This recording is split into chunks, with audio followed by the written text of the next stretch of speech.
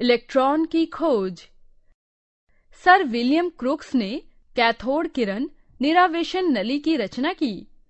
यह एक सीलबंद कांच की नली जिसमें कोई विशिष्ट गैस भरी होती है से बनी होती है और जिसमें दो धात्विक इलेक्ट्रोड होते हैं, अर्थात एक कैथोड और एक एनोड विपरीत दिशाओं पर, जो विद्युत के उच्च वोल्टेज स्रोत से जुड़े होते हैं।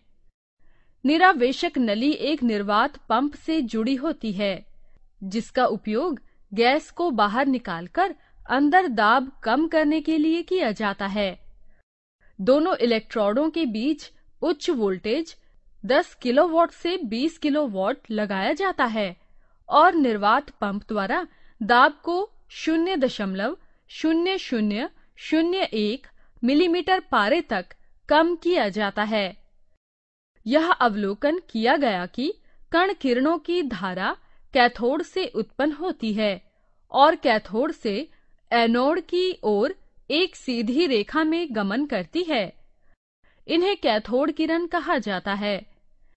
जे जे थॉमसन ने खोज की कि कैथोड किरणों में ऋणात्मक रूप से आवेशित कण होते हैं, जिन्हें इलेक्ट्रॉन कहा जाता है। कैथोड किरण की विशेषता कैथोड किरणें दृश्यमान नहीं होती हैं, किंतु फ्लोरेसेंट या फास्फोरेसेंट की सहायता से उनके व्यवहार का अवलोकन किया जा सकता है। ये किरणें विद्युत और चुंबकीय क्षेत्रों की उपस्थिति में सीधी रेखा में गमन करती है। कैथोड किरणें विद्युत क्षेत्र द्वारा धनात्मक सिरे की ओर विचलित होती है। इस प्रकार यह निष्कर्ष निकाला गया कि किरणों में ऋणात्मक रूप से आवेशित कण होते हैं और इन्हें इलेक्ट्रॉन के रूप में जाना जाता है। कैथोड किरणें चुंबकीय क्षेत्र द्वारा विचलित होती हैं। प्रोटोनों की खोज। गोल्डस्टीन ने छिद्रित कैथोड के साथ केनाल किरण पर प्रयोग किया।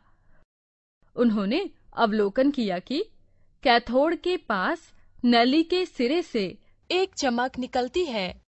गोल्डस्टीन ने निष्कर्ष निकाला कि इलेक्ट्रॉनों या कैथोड किरणें जो ऋणात्मक रूप से आवेशित, कैथोड से धनात्मक रूप से आवेशित एनोड की ओर गमन करती है, के अतिरिक्त अन्य किरण है जो विपरीत दिशा में एनोड से कैथोड की ओर गमन करती है। चूँकि ये किरणें कैथोड में छिद्रों से होकर गुजरती है, इसीलिए गोल्ड स्टीन ने उन्हें एनोड या कैनाल किरणें कहा।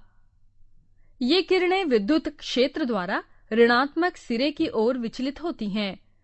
इस प्रकार यह निष्कर्ष निकाला गया कि किरणों के धनात्मक रूप से आवेशित कण होते हैं और इन्हें प्रोटॉन के रूप में जाना जाता है।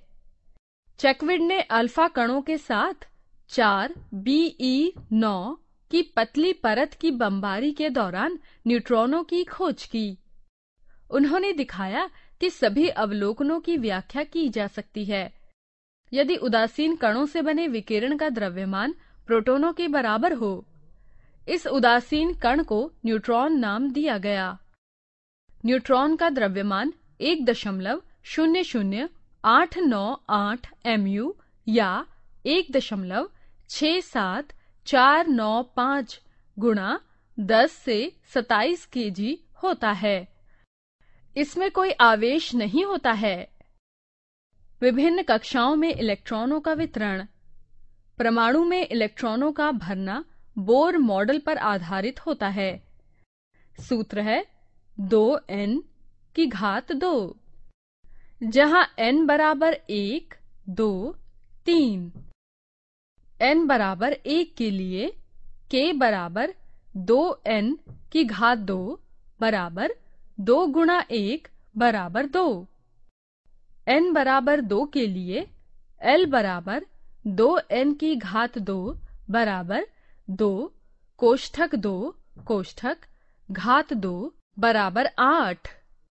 एन बराबर तीन के लिए एम बराबर दो एन की घात दो बराबर दो कोष्ठक तीन कोष्ठक घात दो बराबर अठारह। एन बराबर चार के लिए एन बराबर दो एन की घात दो बराबर दो, कोष्ठक चार, कोष्ठक घात दो बराबर बत्तीस। सबसे बाहरी कोश में इलेक्ट्रॉनों की अधिकतम संख्या आठ हो सकती है। किसी दिए गए कोश में इलेक्ट्रॉन तब तक स्थान नहीं लेता है जब तक कि आंतरिक कोश नहीं भर जाते हैं। अर्थात कोश क्रमानुसार भरे जाते हैं। आइए कार्बन का इलेक्ट्रॉनिक विन्यास लिखें। सबसे पहले आप जानते हैं कि कार्बन का परमाणु क्रमांक 6 है। के कोश में दो इलेक्ट्रॉनों को भरिए। शेष इलेक्ट्रॉनों अर्थात चार को एल कोश में भरिए। आप देखेंगे कि सबसे बाहरी कोश में चार इलेक्ट्रॉन हैं, किंतु चार इलेक्ट्रॉन अष्टक को पूरा करने के लिए कम है। आइए एल्यूमिनियम का इलेक्ट्रॉनिक विन्यास लिखने के लिए दूसरा उदाहरण लें।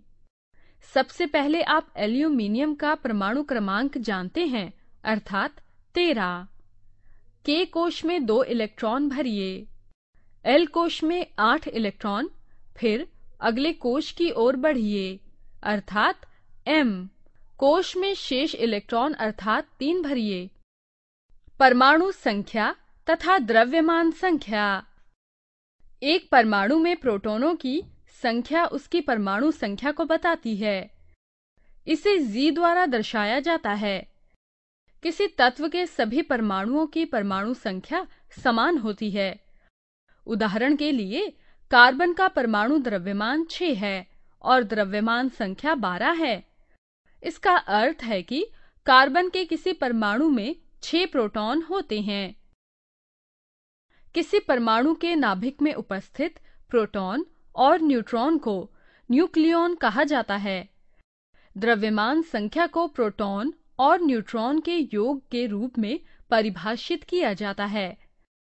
उदाहरण के लिए, किसी परमाणु में कार्बन में छह प्रोटॉन और छह न्यूट्रॉन होते हैं। इसीलिए इनकी परमाणु संख्या 12 है। एल्यूमिनियम में कितने न्यूट्रॉन हैं? हम जानते हैं कि परमाणु द्रव्यमान 13 और द्रव्यमान संख्या 27 है। दिए गए सूत्र में मान रखिए और उन्हें सरल कीजिए। हम एक एल्यूमिनियम में 14 इलेक्ट्रॉन प्राप्त करते हैं। समस्थानिक तथा समभारी। समस्थानिक ऐसे परमाणु जिनकी परमाणु संख्या बराबर हो परंतु उनके द्रव्यमान अथवा न्यूट्रॉनों की संख्या भिन्न भिन्न हो, समस्थानिक कहलाते हैं। हाइड्रोजन के समस्थानिक प्रोटियम, ड्यूरियम तथा ट्राइटियम हैं। प्रोटियम में एक प्रोटॉन होता है, परंतु कोई न्यूट्रॉन नहीं होता है। यूटेरियम में एक प्रोटॉन तथा एक न्यूट्रॉन होता है, जबकि ट्राइटियम में एक प्रोटॉन तथा दो न्यूट्रॉन होते हैं। कार्बन के अनेक समस्थानिक हैं, परंतु इसके सबसे प्रसिद्ध समस्थानिक सी बारह सी तेरह तथा सी चौदह है। सी बारह में छह इलेक्ट्रॉन छ प्रोटॉन तथा छ न्यूट्रॉन होते हैं। सी तेरह में छह इलेक्ट्रॉन छ प्रोटॉन तथा सात न्यूट्रॉन होते हैं। सी चौदह में छह इलेक्ट्रॉन छ प्रोटॉन तथा आठ न्यूट्रॉन होते हैं। संभारी विभिन्न तत्वों के ऐसे परमाणु जिनकी परमाणु संख्या भिन्न भिन्न हो, परंतु उनकी द्रव्यमान संख्या समान हो, संभारी कहलाते हैं। उदाहरण के लिए, कैल्शियम की परमाणु संख्या 20 है तथा ऑर्गन की परमाणु संख्या 18 है। परंतु इन दोनों की द्रव्यमान संख्या 40 है। कैल्शियम में 20 इलेक्ट्रॉन 20 प्रोटॉन तथा 20 न्यूट्रॉन होते हैं, जबकि ऑर्गन में 18 इलेक्ट्रॉन 18 प्रोटॉन तथा 22 न्यूट्रॉन होते हैं। आयरन तथा निकल की परमाणु संख्याएँ भिन्न हैं, परंतु इन दोनों की द्रव्यमान संख्या अट्ठावन है। आयरन के एक परमाणु में 26 इलेक्ट्रॉन 26 प्रोटॉन तथा 32 न्यूट्रॉन होते हैं, जबकि निकल के एक परमाणु में 27 इलेक्ट्रॉन 27 प्रोटॉन तथा 31 न्यूट्रॉन होते हैं।